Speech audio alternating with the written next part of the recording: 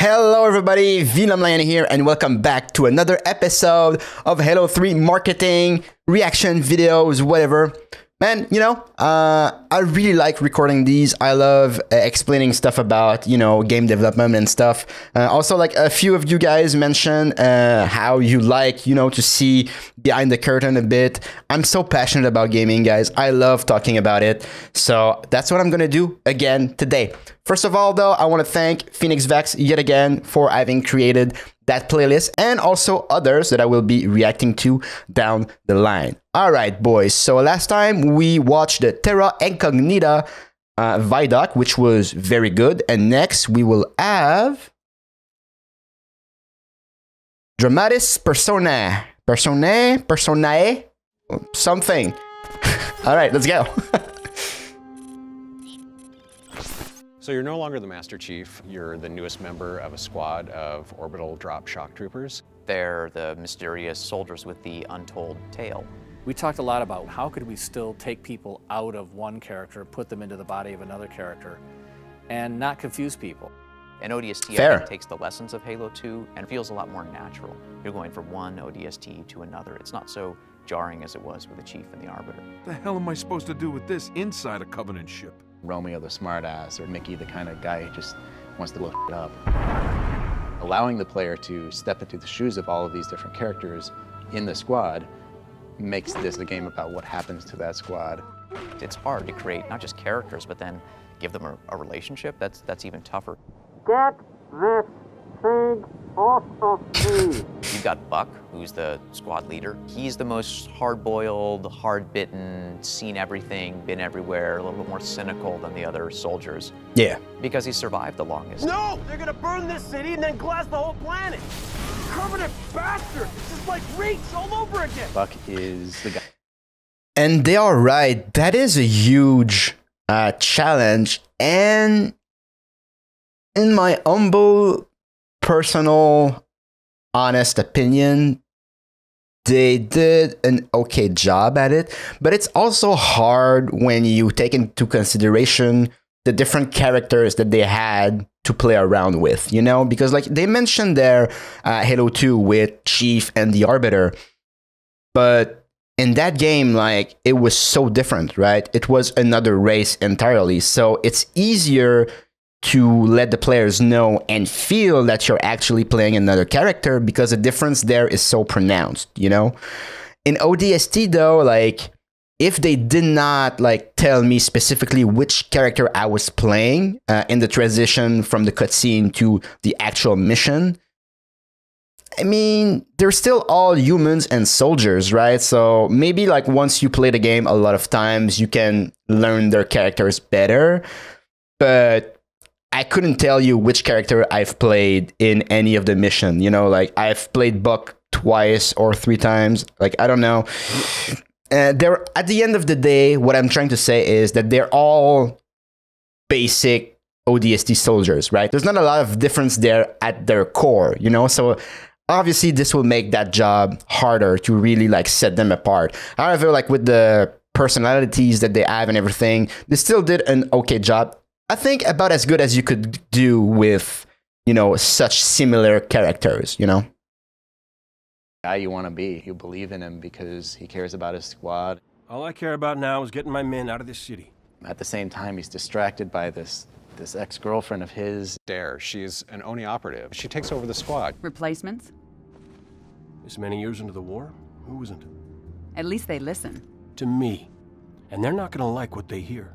He wants to do his mission right. He wants to save his squad. And this whole time, Dare is, is there kind of poking him in the ribs. I never thought I'd see you again.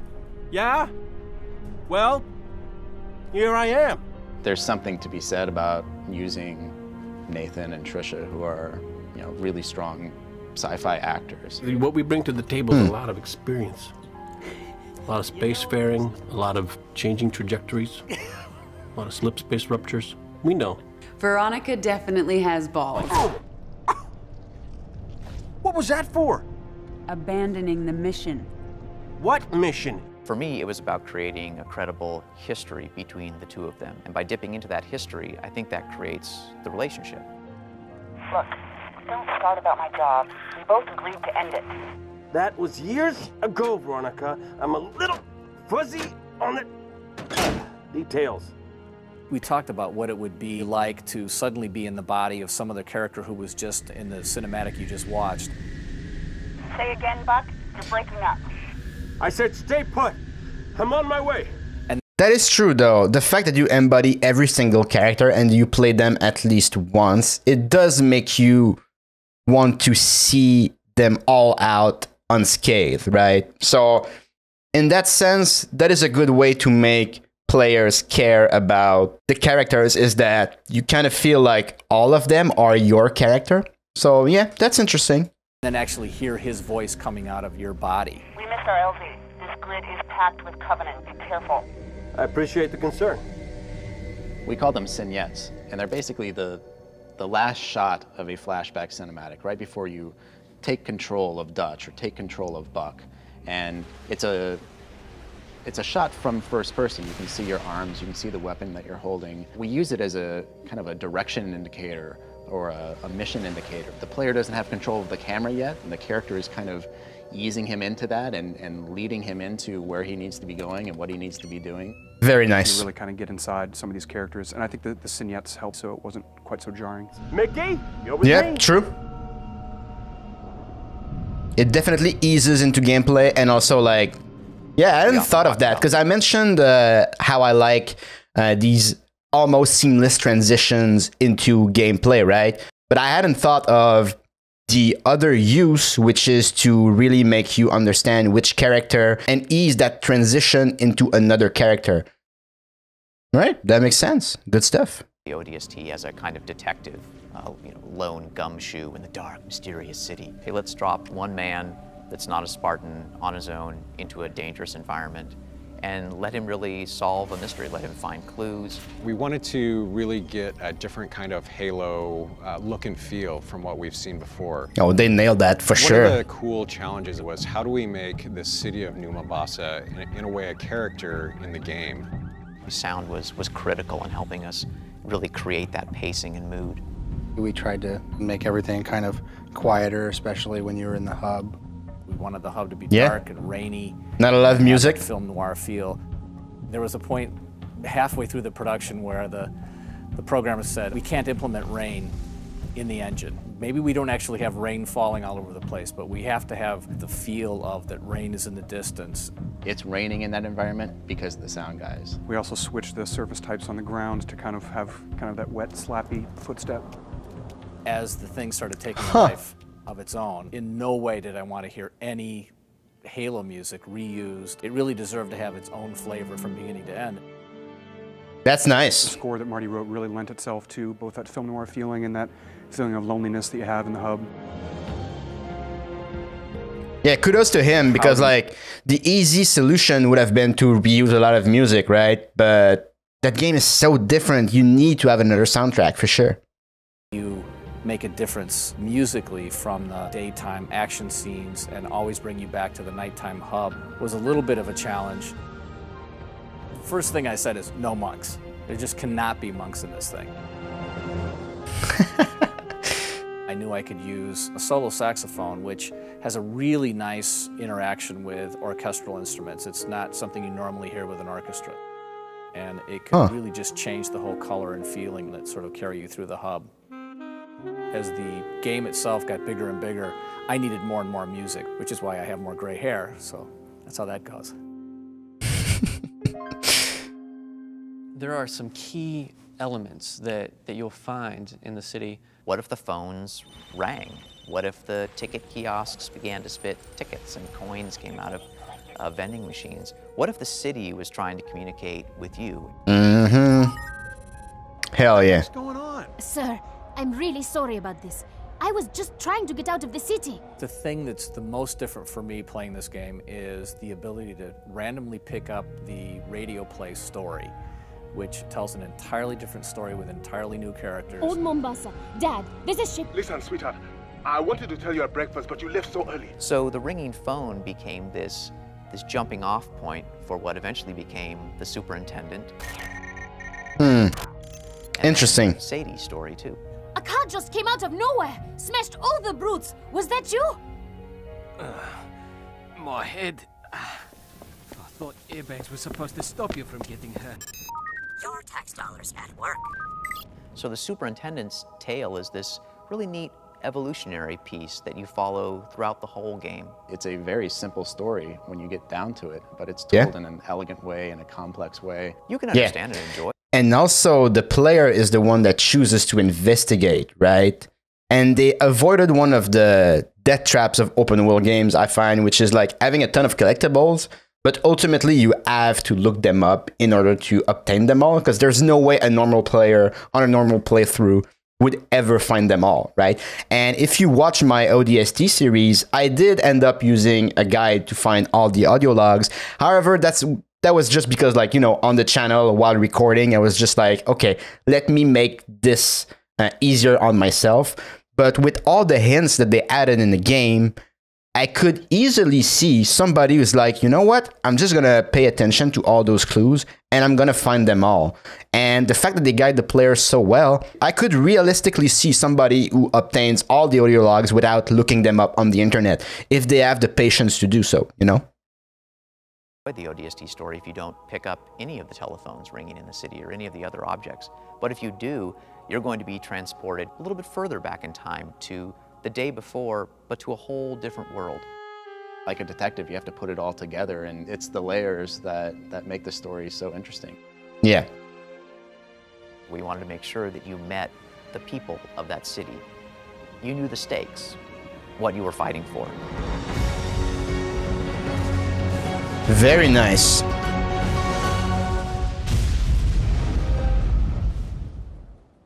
All right, and next we have Road to Recon. Let's go.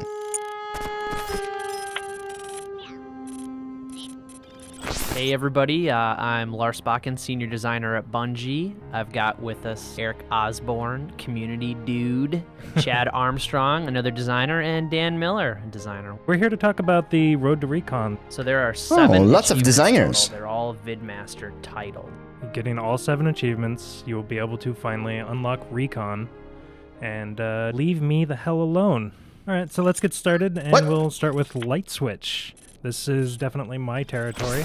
Uh, Light Switch is pretty straightforward. You have to get uh, Lieutenant rank in any playlist in Halo 3 matchmaking. That How involves much uh, EXP is that, Chad? 50 EXP, which means basically 50 victories, which just means it's a matter of time. It takes a couple hours at the most.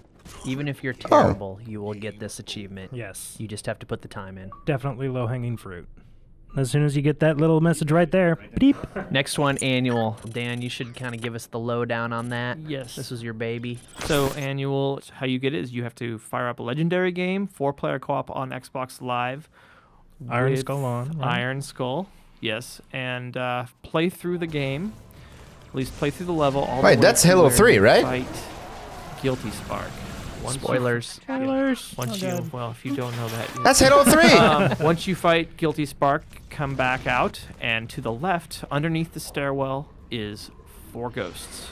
Make sure you Find get all four is on the ghosts, other side. and I'm really confused. It says Halo 3 ODST, but it's not ODST. Okay, let's just watch it. I have no idea, guys. Whatever. kind of drive on on up. Be very careful getting it. Yeah, this actually, the hardest part part is really hard. Hardest part is to get actually past this little area there.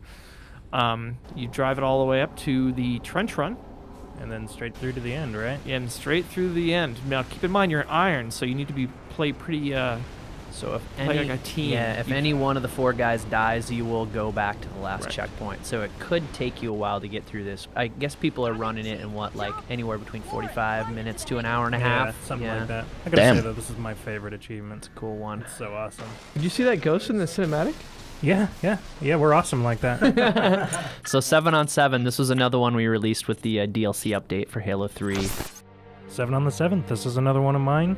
Uh, another matchmaking achievement. Uh, basically, on the seventh day of any month, you have to get seven EXP, a total of seven EXP in a playlist. That's not the same as going into a playlist you've been in before to get seven more EXP. Oh, that's because Bungie has a thing for the number seven, right? So I'm assuming that's why they did that. Because I know, like, to kill a target automatically with the needler, you need seven bullets. And apparently, like Bungie are huge on the number seven. So that achievement reflects that also. Interesting. You have to have a grand total of 70 XP in that playlist. To make that a bit easier, uh, once a month we actually put a playlist up called Seven on the Seventh. It's the sixth some months. No, yeah, it's not. depends on It's what not time zone you're in. No, it's It's the seventh every month. Boom. Beautiful. Brain Pan. Brain Pan, sweet. So this was another one we uh, we gave out with DLC. One skull is hidden on every map. There's one skull hidden on every map. That is correct. You just have to go and Forge. Make sure you're in Yep. Forge because they won't have show to up be in in regular Forge. game. Correct. Oh, tricky. Level two is in a really cool spot. Yeah, this one this one's pretty good. Uh, this one actually took me a while to find. I also like that we never tell each other where we hide things. Well, that's that's But- supremely important. It's Yeah. like, like I think Dan and I were the only ones, or maybe I was the only one who knew where all of them were. They're the testers knew, obviously, but This one's pretty good too. we try to keep that stuff. Testers close. know the project better than anyone else, by the way. don't want it to leak. We want the fans to find these things. This one's just mean. It is mean. I placed it there on purpose to make uh, Shishka angry. And it worked. Sweet. I'm angry just looking at this. Citadel was mine, so was Oh, Longshore. that's where Citadel's one of. Yeah. I don't, I don't care about anybody else's levels Jesus. but my own. Yeah, of course. See, that's it's good, Dan. Speaking of, right? This one's up That's in the Halo air. 3, though. It's not ODST. 20 seconds working Whatever. on this one. Phoned this one in. True. Is that where it is on midship? in I like Halo this 2? one the This is- best, this is- actually. This, okay. one is makes up awesome. I take it it. back. This is the greatest skull ever. And look at look at what this guy did. Tube corner. What a He's a lame. Well. He's you know what? It's not. li- It's ingenuity Kids, is what it is. Don't cheat like this.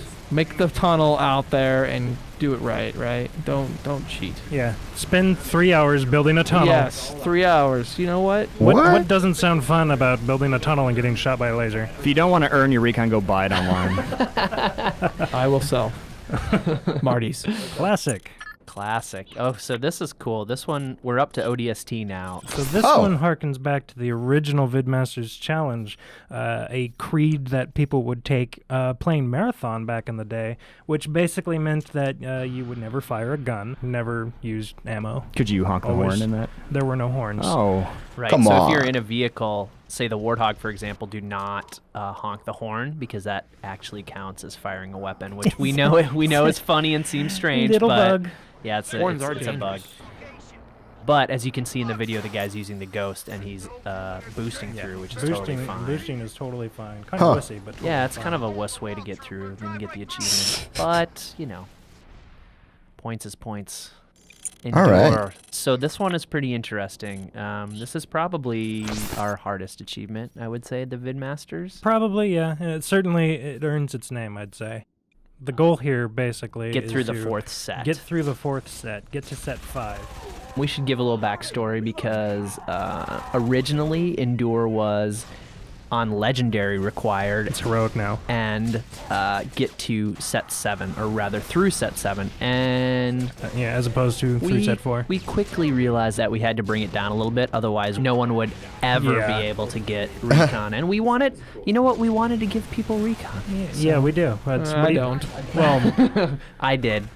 I'm just tired of the live inbox messages. And Deja Vu, this is another uh, D Miller special. How this one works is the same setup where you have to have four player over live, legendary, and Iron Skull. The last level of the game. The last level of the game, highway, a coastal highway. Nice. The last thing you need to do is you need to not get in a vehicle. Um, more specifically, you, not, you cannot Oh. get into a scorpion or any type of warthog, meaning tr- See, like a lot of the achievements that they talked about there are really interesting because you know it's been a couple of years now, probably even more than a decade now, that achievements are a thing, right? And there's definitely like a boring way to do them, you know, like complete chapter one, complete chapter five, complete the game on normal, woo! But you know, achievements uh, are really interesting to me when they are trying to you know create additional gameplay uh, with their requirements like that is a good example right doing like the final mission of the game without entering a vehicle. Because like achievements are really cool and they're fun to go to go grab but let's say you're a diehard fan of one game right?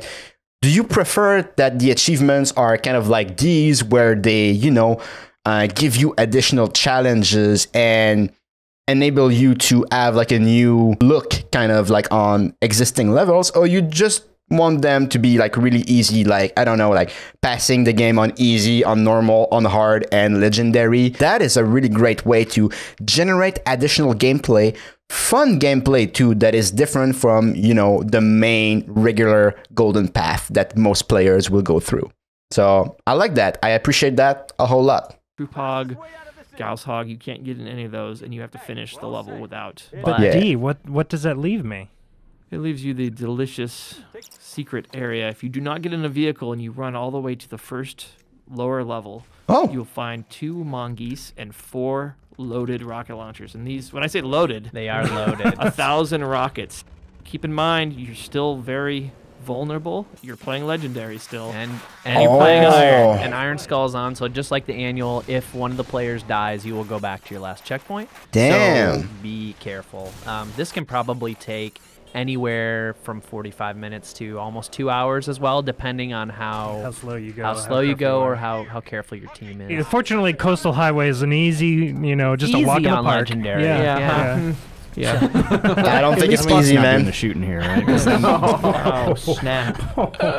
So Achievement that seemed pretty. Uh, that seemed pretty easy. And that's Nice. it, right? That's Pretty all seven of them. And Yeah, then you go to what bungie.net. You make sure you got a profile link to your gamer tag. Go into your service record. It's Oh. a huge button. You push the button and it'll unlock for you. And Oh, what's that? Please leave my Xbox Live inbox alone. Please. There's your Vidmaster Oh. Challenge walkthrough. Road to Recon. Oh, so oh, I like that.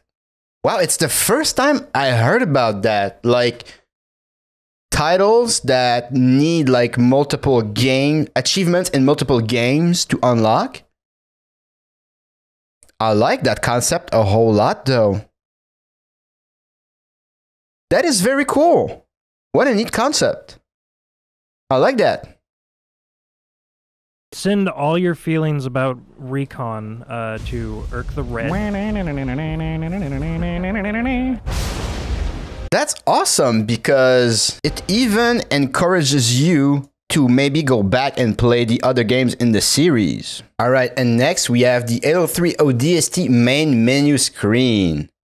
Let's go. Oh, it was already started. Okay. Yeah, the MCC menu is all right, but it lacks a lot of personality, you know? Oh, man. Just the sound alone, it's already better than the, the MCC version, you know? Yeah, that's the beginning of the game though, right? Yeah, yeah, I saw that. All right, let's let's skip ahead to the main menu, boys. Nice shot of the rookie. That's nice.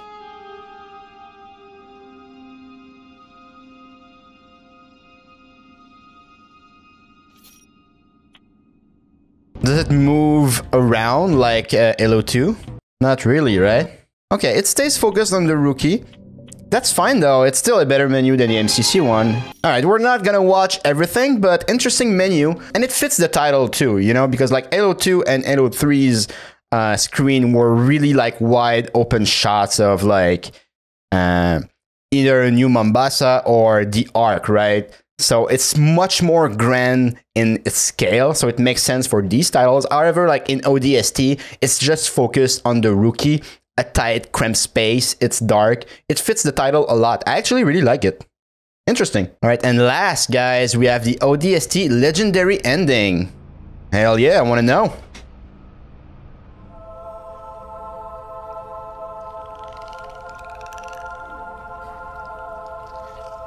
Engineers. Is that a prophet?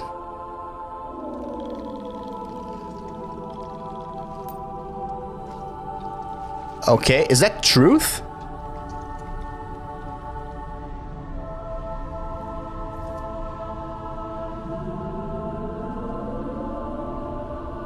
He commands them.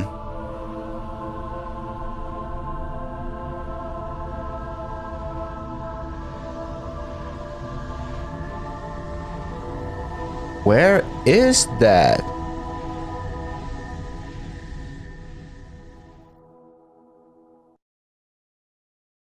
Wow, okay. Hello, Markiplier. God damn. I'm gonna need uh, you guys' help on that one. Uh, what was that? I need some more context. I don't think I will uh, figure it out on my own.